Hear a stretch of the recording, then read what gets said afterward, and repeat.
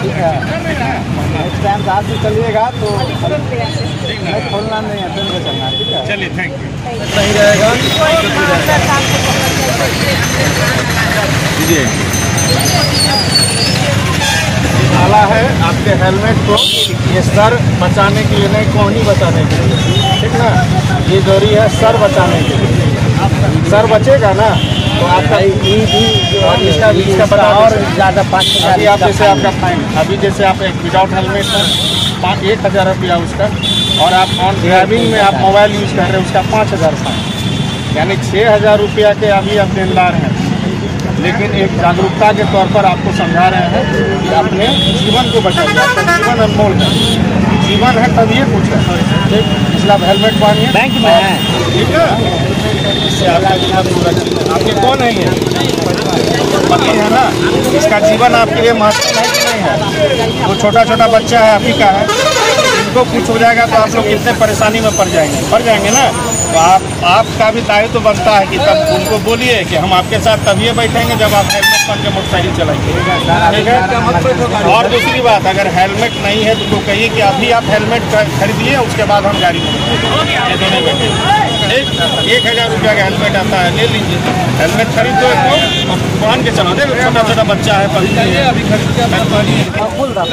फूल इसलिए खिलाते रहे ये देखिए फूल दे रहे हैं तो इसलिए हेलमेट पहनिए आप जो अभी काम कर रहे हैं किसके लिए कर रहे हैं? परिवार के लिए कर रहे हैं। कल अगर आप नहीं रहिएगा तो वो परिवार रोड पर आएगा। एक हज़ार का तो हेलमेट आता है नहीं लगाते अब लगाइएगा ना आई माला पहन के घर जाइएगा ना अपनी बीवी को दिखाइएगा ना कि बिना हेलमेट का पत्रकार सब पहना दिया हमको माला है? पक्का वादा करते हैं। स्वागत हो रहा है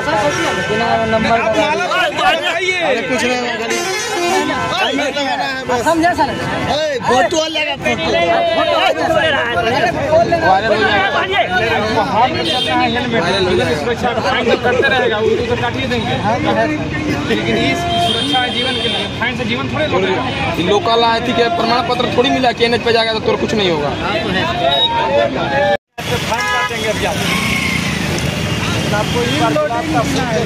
फ़ोटो ले दे दिए अच्छा लगा बताइएगा क्यों ज़रूरी है हेलमेट क्या नहीं है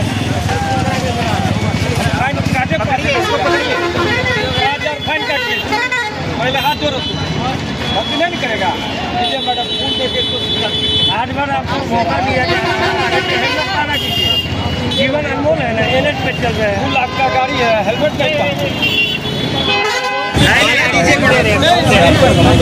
पहना बाकी नहीं कर सकते थे। लेकिन आप अकेले नहीं है आपके पीछे बच्चे लोग हैं परिवार है। आपके कौन है? आपके ये कौन बच्चे हैं? भाई लगते हैं। दे दिए दे दिए बता दीजिए बिना हेलमेट के हम गाड़ी पर आपके साथ नहीं बैठे हेलमेट पहना के आप लोग गाड़ी पर बैठिए। अच्छा बात है ना। लेडीज़ सर लेडीज़ उनको समझाइए। चोट लगेगा तो छोड़िए। सर इधर देखिए मन्नू सर। पकड़िए यही पकड़िए। इसलिए दिया जरा पता है ना। क्यों दिया जा रहा है? भरी जी माला